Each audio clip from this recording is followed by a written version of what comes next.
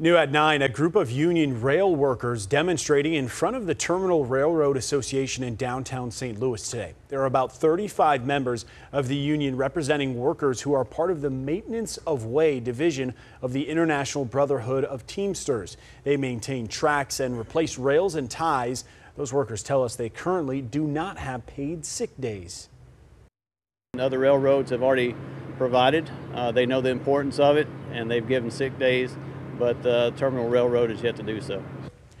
A company official tells us workers remain under a national agreement through the end of the year, but adds the company has been and remains willing to negotiate paid sick leave with the union and any other union that does not currently have that benefit.